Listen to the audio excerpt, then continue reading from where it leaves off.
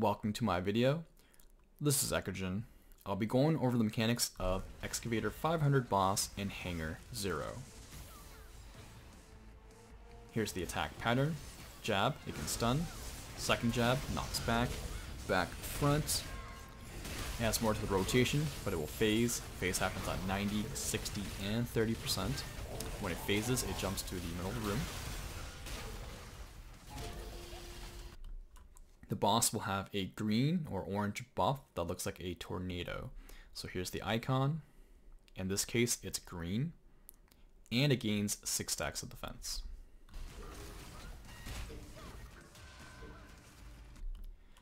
The boss will fire a drill that lands 3 meters from itself. The drill here can be in any of these circles. And then the person doing the drill mechanic needs to get behind it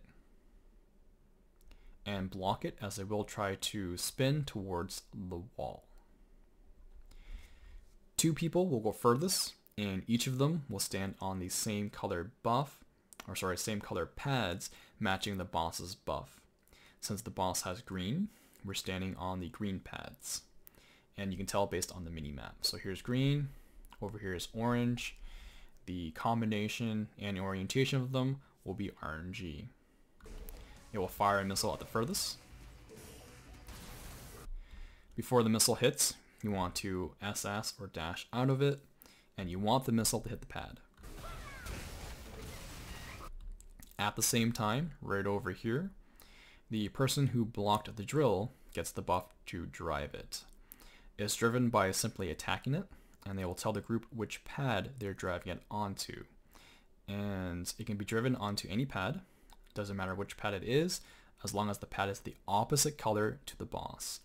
So in this case, it was driven onto an orange pad since the boss has green.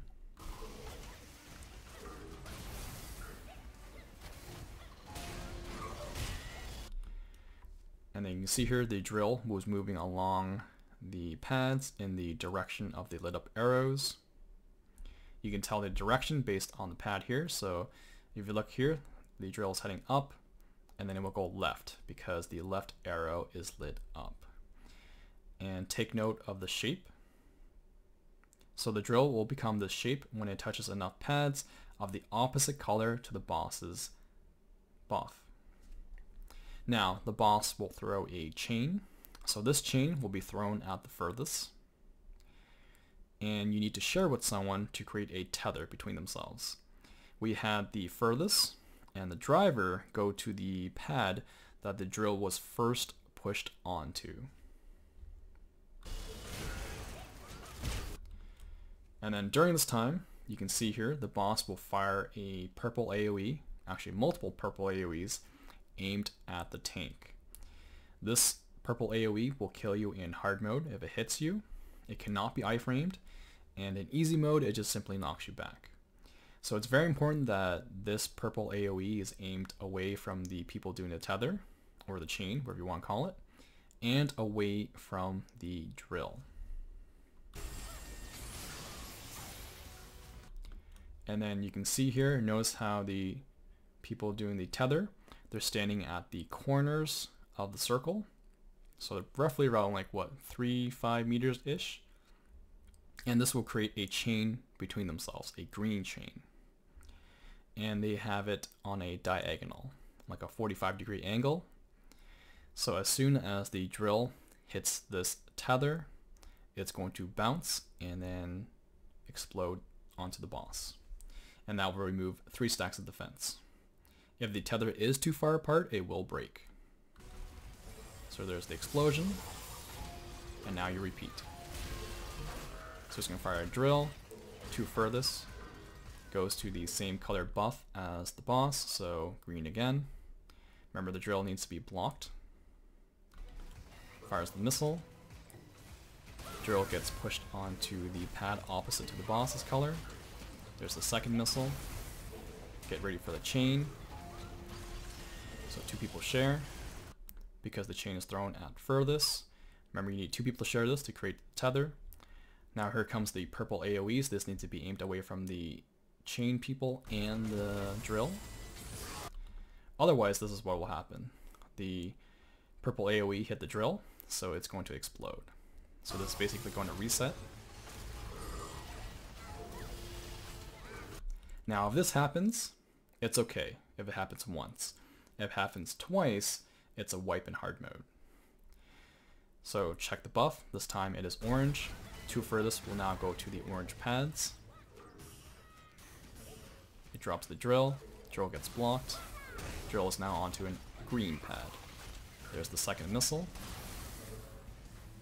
Drill is going around the room. There's the chain. AoE will be aimed away from the chain people and the drill. See there, notice the positioning of the people doing the chain. So they're at the corners. And then the line is 45 degree angle.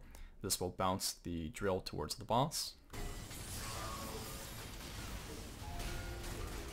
And it's damage by it. And then it ends the phase with a 5 hit AoE.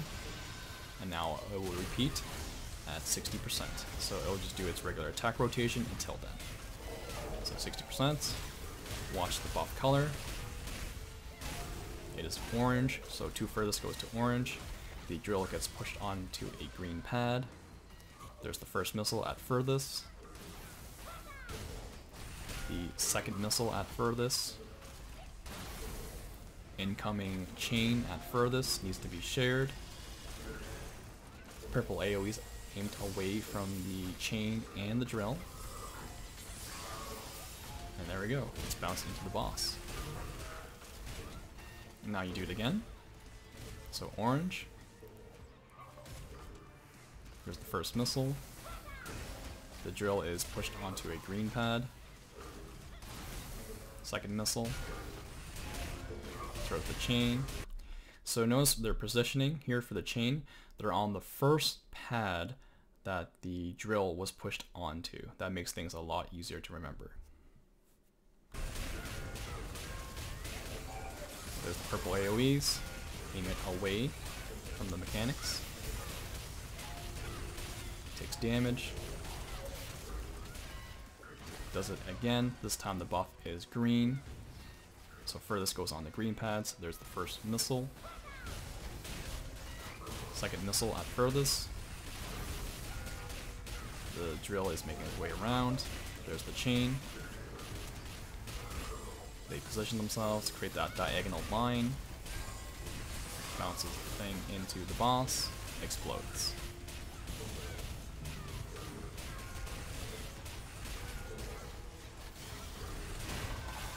and then ends the phase with a 5 hit room wide AoE, so you want to use Hongmoon Block or Sheath for that.